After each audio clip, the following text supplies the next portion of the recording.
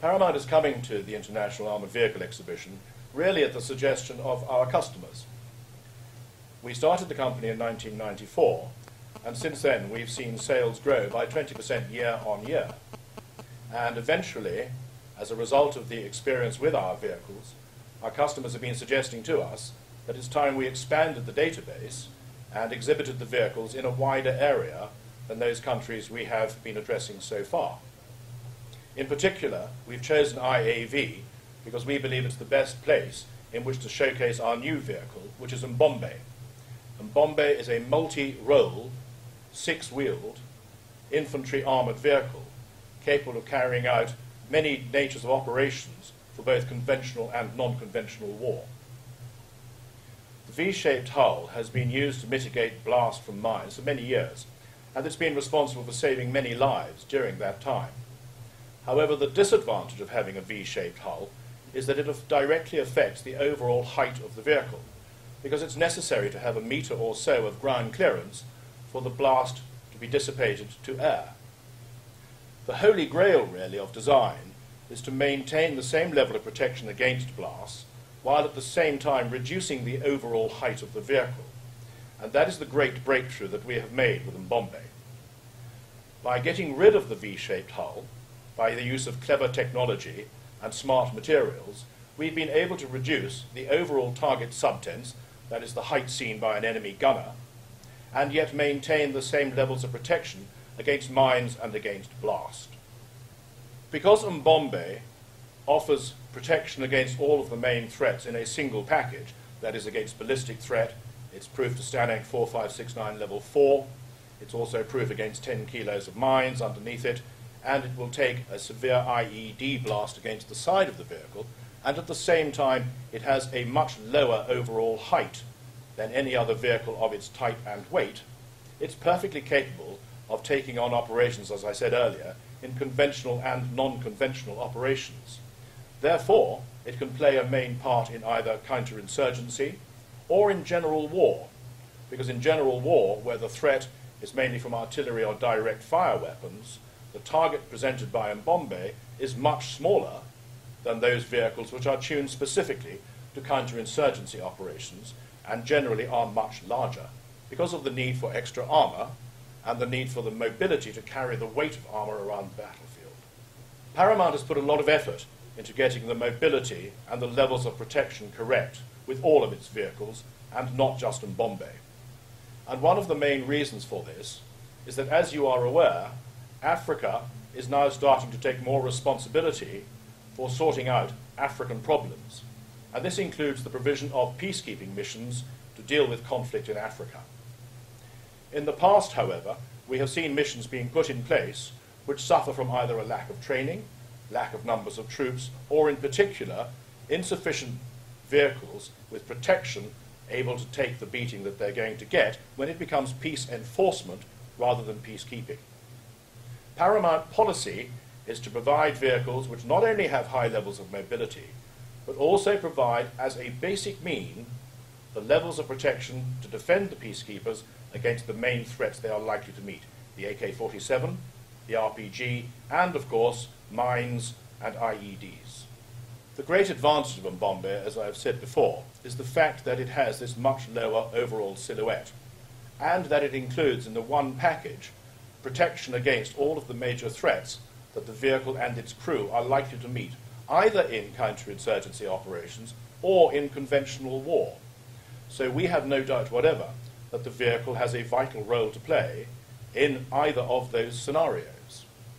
It will offer its crew added protection against direct fire weapons from the reduction in the overall height, and it will offer its crew protection against AK-47s, against STANAG Level 4, the heavy machine gun, and against RPGs and mines and IEDs in the case of counterinsurgency. We believe that most armoured vehicles in the future are going to have to take on diverse roles. There is no room, we believe, for vehicles specifically tuned to a particular nature of war. Mbombe can encompass all of these threats in a single package. This, of course, not only makes it ideal from the point of view of the customer, but it reduces the overall cost of ownership to him as well. the design of all the vehicles in the Paramount range has been guided by one principle, which has been laid down by the chairman, and that is that all our vehicles must do what we claim for them, and that is they must provide protection, even in the most basic model, against the main threats that the crew and the vehicle are likely to face against the role that they are going to undertake. Now, that means, of course, invariably the AK-47s and the RPGs we mentioned before. IEDs are becoming increasingly complicated and increasingly dangerous as the terrorists learn how to make shaped charges. All of our vehicles, however, will offer high levels of protection, plus high levels of mobility, and they will do so in the most cost-effective manner. And we have done this so that African governments can put peacekeeping missions on the ground, can take part in humanitarian operations, knowing that their troops are so well protected that they will be able to defend the people they are called upon to protect without having to spend most of their time defending themselves. And that is an overriding principle.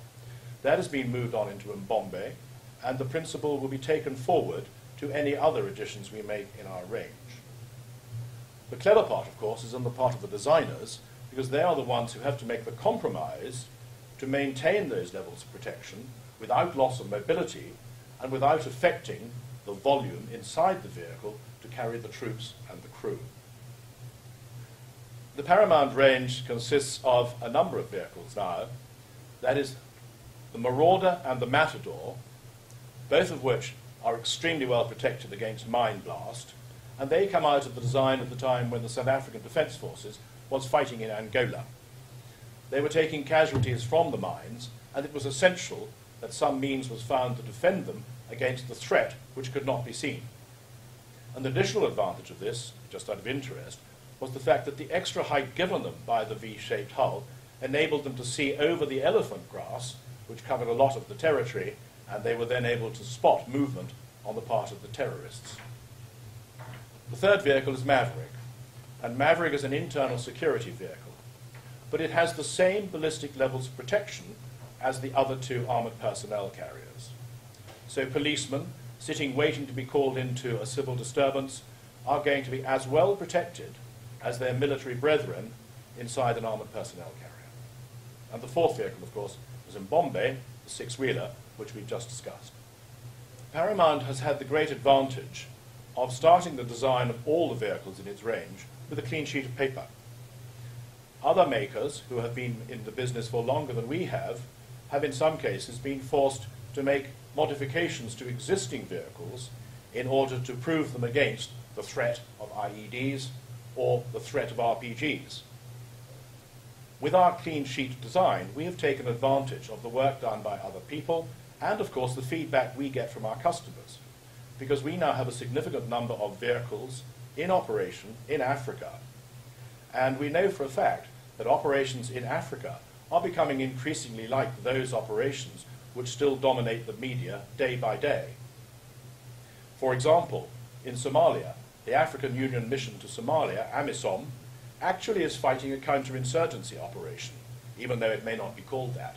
So we are quite confident that our vehicles have a role. The fact that they are self-contained, they use a lot of commercial off-the-shelf components, particularly in the drive lines, makes them very easy to adapt into any kind of alliance or coalition force. And we are quite confident that these vehicles have a role, either as a force on their own in Africa, or as a force on their own as an entity used by a nation state in Europe or in the Middle East. As part of a coalition, they would fit in perfectly. There is no reason why they shouldn't, since they would probably require less logistic support than the majority of their heavier brethren need to keep going.